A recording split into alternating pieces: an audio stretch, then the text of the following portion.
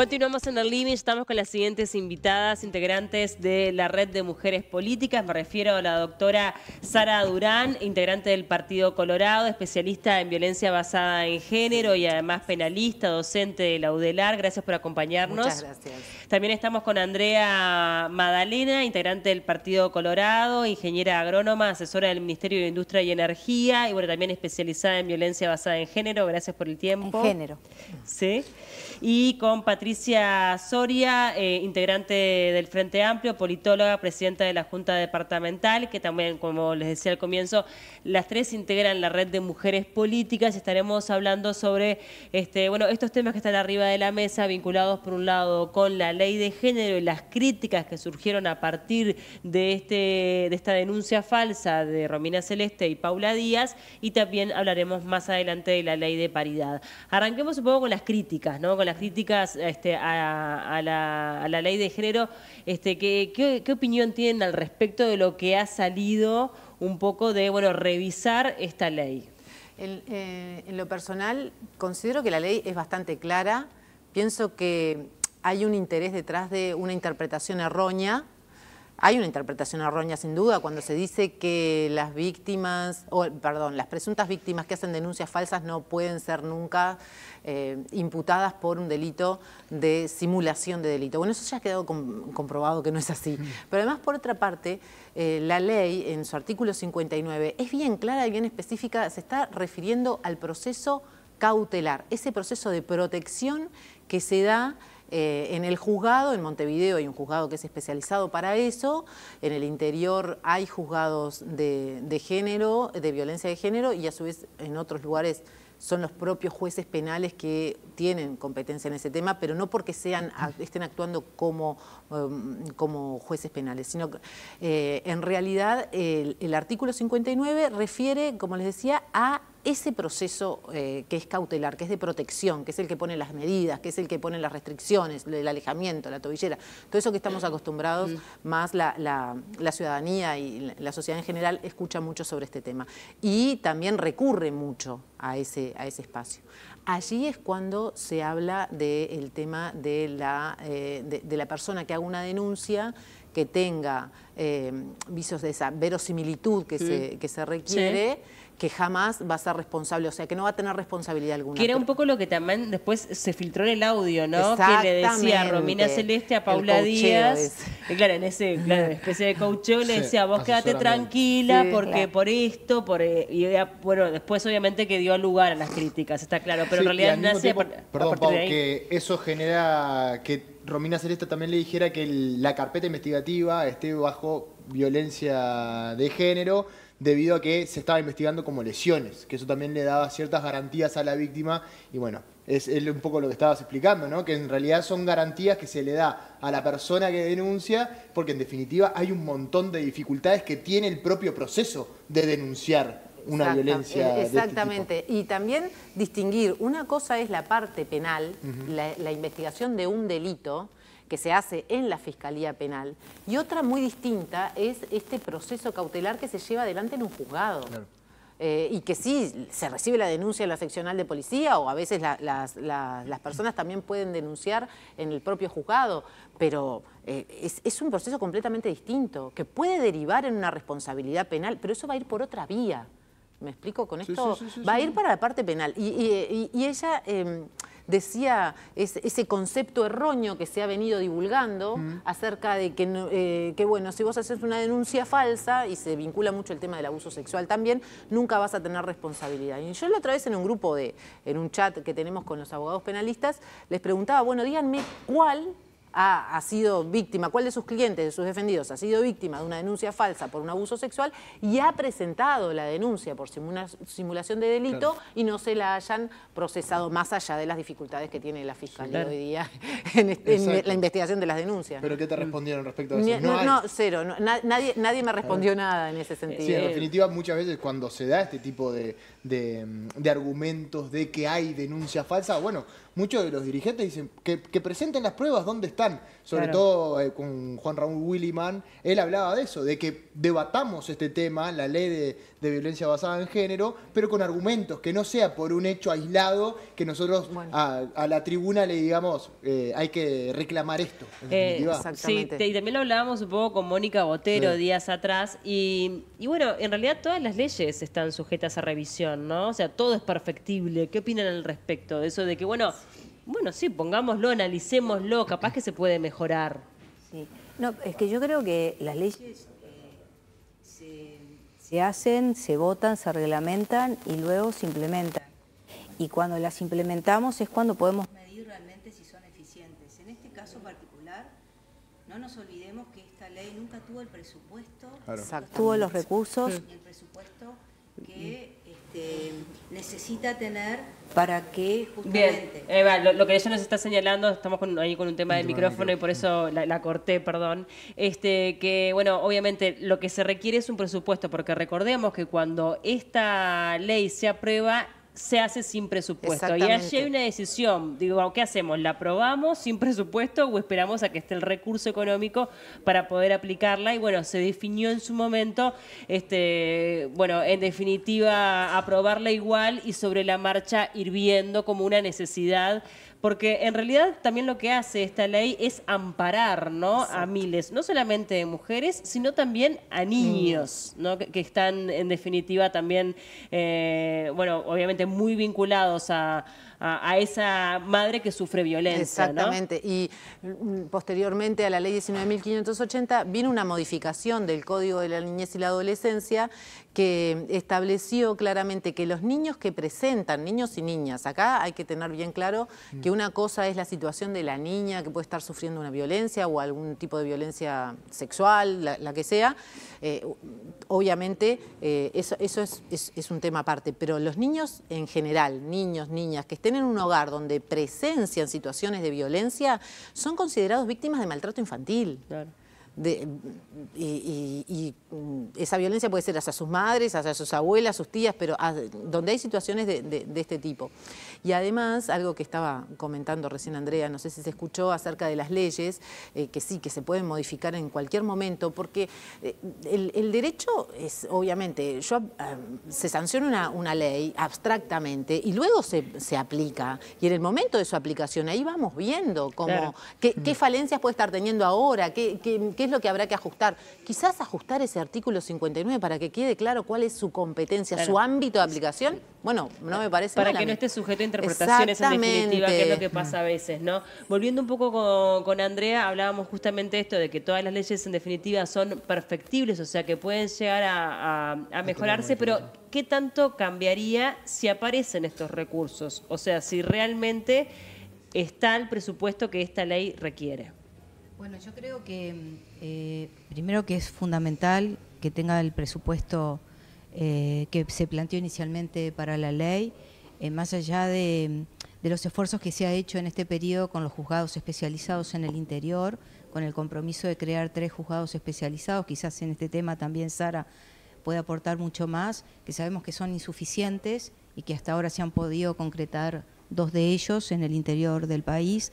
Pero a mí lo que me interesa, este, eh, también eh, haciendo em, punto en el tema del presupuesto, que quienes están cuestionando este, esta herramienta que ha sido tan importante y que para la red de mujeres políticas el tema de la violencia basada en género, la violencia doméstica estuvo desde, desde sus inicios de aquella agenda de derechos, este, cuando ni siquiera la violencia doméstica estaba tipificada como un delito Em, para nosotros es muy importante el mensaje que se da para quienes están cuestionando la ley, para quienes están cuestionando la ley, algunos artículos hay quienes están diciendo de modificar, pero hay otros que están diciendo de derogar la ley. Hay como una embestida bastante importante que para mí es muy mezquina con respecto a la ley 19.580.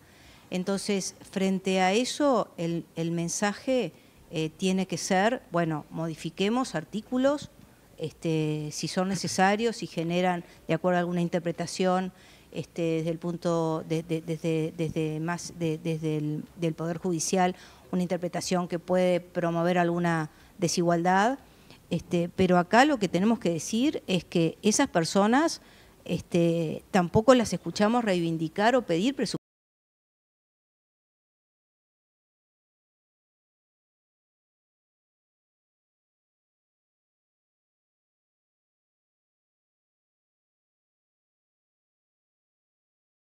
Que, tienen una, doble esta responsabilidad cuando dan un mensaje, eh, ellos estuvieran también diciendo, bueno, esto queremos cambiar, pero la ley es importante, la ley es necesaria, la violencia basada en género es un flagelo social y necesitamos presupuesto para esto. Ahí creo que el debate o el mensaje este, este, en, lo personal creo que sería más, más legítimo. A mí lo que me preocupa es el mensaje que se está dando porque frente a un caso aparte de, excepcionalidad como el que estamos viendo ahora, ¿no? nos agarramos de eso para desacreditar una herramienta este, que es muy necesaria y, eh, bueno, como decía Sara, quizás hoy nos faltan estadísticas de las, de las denuncias falsas este, y creo que tenemos una gran mayoría de denuncias verdaderas. Claro. Patricia, ¿cómo lo ves vos desde, desde el punto de vista del Frente Amplio también, teniendo en cuenta de que uno de los afectados por esta denuncia falsa fue el precandidato del Frente Amplio, Yamandu Orsi? ¿Cuál es el balance que hacen luego de todas estas serie de repercusiones que generó esta, esta denuncia falsa? Bueno, fue un episodio obviamente que muy triste, este, a veces se habla de lo sucias que pueden llegar a ser las campañas y bueno, yo creo que este episodio forma parte también de, de eso, ¿no? de, de, bueno, de, lo, de lo que a veces se transforma en esa campaña de Zócalo, ¿no? A lo que, bueno, uno no, no, quiere descender, pero que a veces las situaciones terminan arrastrando a eso, ¿no? Y bueno, creo que este episodio ha sido un claro ejemplo de, eso, eh, que bueno, que por suerte se termina echando luz y, bueno, y, el nombre de, de, Orsi este, queda, queda limpio, eh, pero lógicamente que esto tiene otras repercusiones que tienen que ver con, con otras discusiones colaterales, como es esta, que para la Red de Mujeres Políticas es central, porque tiene que ver con el reconocimiento de nuestros derechos. Y bueno, la reflexión que, nos queda es que, en definitiva, nuestros derechos están siempre en disputa, ¿no?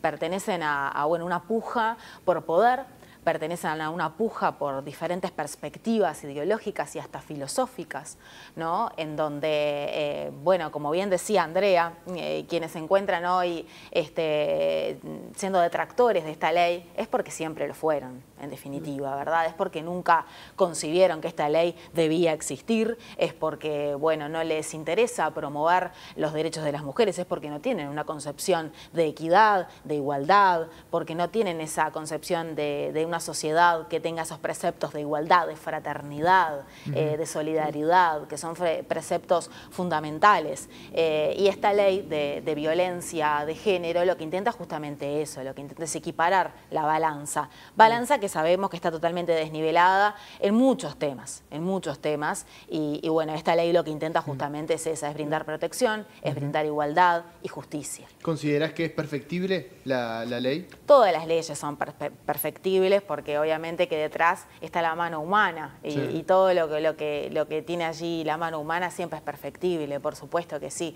Lo que claro, ahora se aprovecha el momento para lo que decíamos, ¿no? En vez de para reclamar que la ley sea perfectible, lo que se intenta es tirarla abajo eh, porque nunca se creyó en ella. ¿Y les ha sorprendido lo que han señalado públicamente algunos integrantes del Parlamento? Me refiero a Bianchi, Subía, Domenech o Pasquet, que bueno, se han expresado. Eh, tú me señalabas un poco que en el caso de su vida también es abogado y, allí también como que conoce un poco los mecanismos de la justicia por esta ley. Exactamente. Y a mí lo que más me llama la atención es que todas esas personas que, que tanto combaten la ley 19.580 en su oportunidad tienen el recurso de referéndum, que es ese mecanismo de ejercicio directo de la soberanía que tenemos eh, los, los ciudadanos y ciudadanas del Uruguay.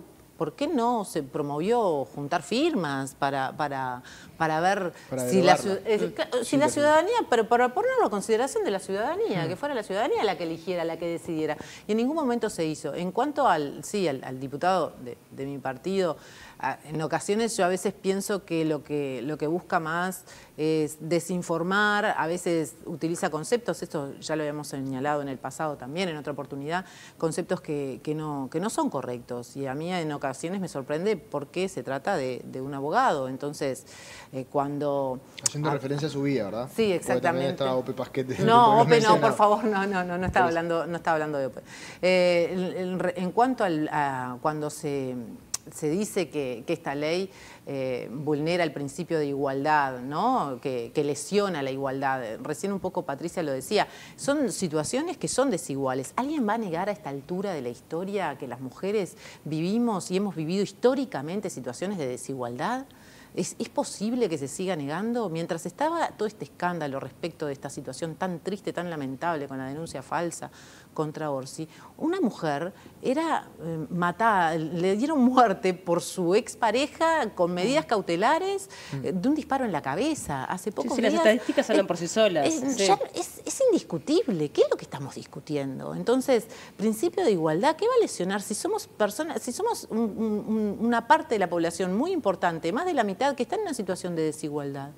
¿Cómo se aplica el principio de igualdad? ¿A todos por igual? No, esa igualdad es ante la ley, pero las situaciones que son desiguales se las equipara para que exista esa igualdad, porque si no nunca llegaríamos. ¿Cómo hacemos para llegar en todos los ámbitos? Y la propia Constitución tiene muestra de esto de situaciones que son desiguales que las utiliza, eh, que utiliza esa desigualdad para, eh, para equiparar situaciones Sí, hablábamos de algunas situaciones en el interior, por ejemplo, en donde bueno se permite más representantes de lo, ah, políticamente, políticamente O también pasa con la auxiliatoria de pobreza. ¿Qué pasa si una persona no tiene plata para pagar los timbres judiciales? ¿Qué hace? ¿No puede acceder a la justicia? No, para eso está la auxiliatoria de pobreza. Mm. Eh, Preguntarles respecto a lo, que planteaba Sara, respecto a que si, bueno, si hay un real interés en derogar esta situación, ¿por qué no llevarlo a plebiscito? ¿Ustedes consideran que tiene que ver con una cuestión de termómetro electoral, esta reacción así impestiva ante la ley? ¿O tiene que ver con que realmente tienen un interés en derogarla, teniendo en cuenta de que es muy difícil que efectivamente en los hechos se derogue esta ley? ¿Cómo ven esa situación? ¿Es más bien una sensación de, de reacción ante esta situación para intentar de conseguir algún voto más? Yo creo que hay un antecedente que es muy ilustrativo que tiene que ver con la interrupción voluntaria del embarazo. Nadie se va a animar a llevar esto a las urnas porque hay un antecedente clarísimo en donde la sociedad eh, les dio la espalda. Y allí había representantes de todos los partidos políticos que intentaban eh, derogar esa interrupción voluntaria del embarazo por la que tanto peleamos las mujeres de todos los partidos políticos, este, que si bien obviamente había diferencias y no formó parte de de, una reivindicación de la red de mujeres mm. políticas, porque, bueno, había ciertas diferencias, sí, pero es una reivindicación histórica de las mujeres, ¿verdad? Que tiene que ver con nuestra autonomía, que tiene que ver con un derecho fundamental e intrínseco de las mujeres. Eh, con ese antecedente sobre la mesa, yo creo que no van a avanzar por ese camino, pero claro, este, está esa cuestión de gritar en la pulpería y callar en la comisaría, como mm. se dice, ¿no? Y las redes sociales sirven mucho para eso en estos tiempos, en 140 caracteres tirar la bomba, como se dice, ¿no? y después no tomar las medidas al respecto, porque no hay hasta ahora ni una propuesta seria presentada sobre la mesa para evaluar de perfeccionar esta ley de violencia basada en género. Por tanto, lo que entendemos es que la idea es eh, bombardear eh, nuestra agenda, bombardear en realidad toda iniciativa que tenga que ver con equiparar eh, este, a las mujeres con, los varones es, eso en realidad, ¿verdad? No, hay una voluntad de perfeccionar esto. Nos estamos quedando ya sin tiempo, pero me gustaría que hagan al menos cada una de ustedes una pequeña reflexión a propósito de esta ley de paridad que finalmente no, salió a nivel parlamentario. Bueno, comentábamos también con, con Mónica, con un discurso muy potente por parte de la vicepresidenta Beatriz Argimón. ¿Qué sensación les queda después de todo esto? Bueno, a mí me parece que mm, este, nos pasó en el proceso de la cuota. Nosotros ya venimos también, la red lo tiene históricamente los temas que, tenían que ver con la participación política de las mujeres y promover esa, esa participación más equitativa. Eh, pasó casi 20 años entre el primer proyecto de, de, ley de cuota que lo planteó en el año 88 nuestra querida Alba Casina de Nogara, en el primer gobierno post, este, en la recuperación democrática, el primer proyecto de cuota, con el consenso de todas las compañeras de diferentes partidos y tuvo que pasar muchos, muchos años más para poder este, votar un proyecto de cuota y después implementarlo, porque se votó en el 2010, se implementó recién en el 2014, quería por un solo periodo, se quería evaluar por, por, ese tiempo, después no, no, se llevaron las, las modificaciones que le queríamos hacer porque echa la ley, echa la trampa, mm. bueno, y ahora mm. viene la paridad.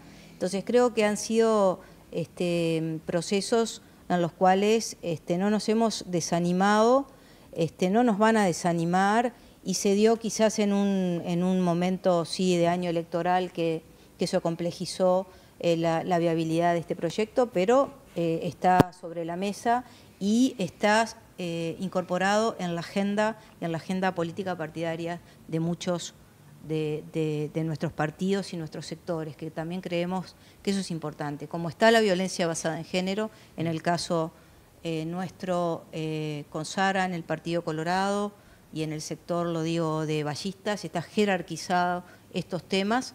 Este, creo que es importante que, bueno, que sigamos profundizando y dando batalla. Seguramente se impulse en el nuevo periodo nuevamente? ¿Esa es la intención? Sí, obviamente. Eh, este tema está en la agenda de la red de mujeres políticas, este tema es un tema consensuado y yo creo que también la, reflexión que nos queda de esta instancia es que la ciudadanía tuvo la oportunidad de ver quién estaba a favor, quién estaba en contra, cuáles son los argumentos, por qué se vota que sí, por qué se vota que no. Me parece que eso es algo, es algo bien importante, que la ciudadanía tiene derecho a conocer quiénes son sus representantes. Gracias a las tres por acompañarnos. Fue un gusto recibirlas acá en el programa. Muchas gracias.